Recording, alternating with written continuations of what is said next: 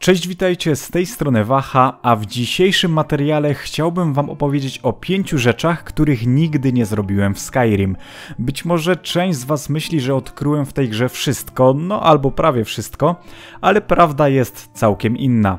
W rzeczywistości nie sprawdziłem w Skyrimie jeszcze kilku istotnych elementów i pewnie niektóre z punktów was zdziwią, że mimo setek przegranych godzin dalej ich nie zrobiłem.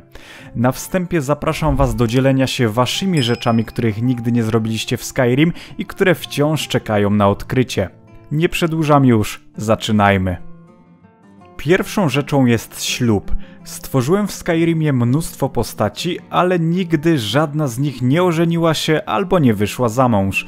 Mniej więcej wiem jak wygląda proces wzięcia ślubu w Skyrim, no czyli że zaczyna się w pękninie, a do wyboru mamy kilka kandydatek czy kandydatów ale jakoś nigdy się za to nie zabrałem. No albo nikt mnie do siebie nie przekonał. Wiem, że małżeństwo w Skyrim ma swoje plusy. Z tego co kojarzę, małżonek prowadzi sklep i zarabia jakieś tam pieniądze, a do tego czasami daje nam prezenty. Muszę więc to nadrobić i na własnej skórze zobaczyć jak to jest. Przejdźmy do punktu drugiego, a będąc już przy temacie rodziny, muszę dodać, że praktycznie nie zacząłem zawartości dodatku Hairfire. Na pewno nigdy nie adoptowałem dziecka i na pewno też nigdy nie skończyłem budować domu. Nie jestem pewien, czy w ogóle zacząłem ten dom budować, bo kompletnie nie pamiętam jak to wyglądało. Ale patrząc na to, jakie opinie ma to DLC, myślę, że wiele nie straciłem, w szczególności, że jest kilka świetnych modów umożliwiających budowę domu, czy nawet całej wioski. Skoro mówimy już o domach, to płynnie zacznijmy punkt trzeci.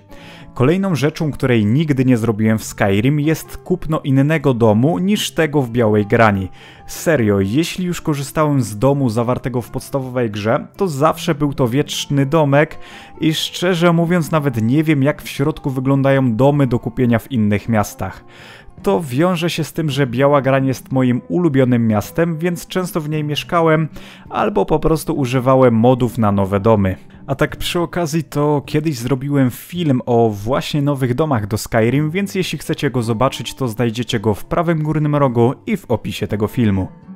A teraz punkt czwarty, który pewnie zdziwi was najbardziej. Nigdy nie ukończyłem wątku wojny domowej w Skyrim.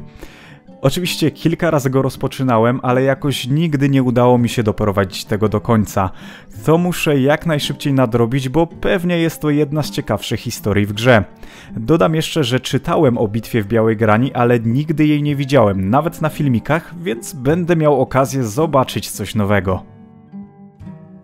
No i na koniec pozostaje jeszcze Akademia Bardów, której też nigdy nie ruszyłem.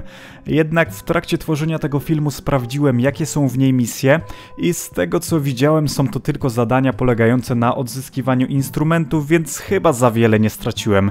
Choć pewnie powiedzmy dla zasady, kiedyś to zrobię. I to wszystko, co na ten moment przychodzi mi do głowy.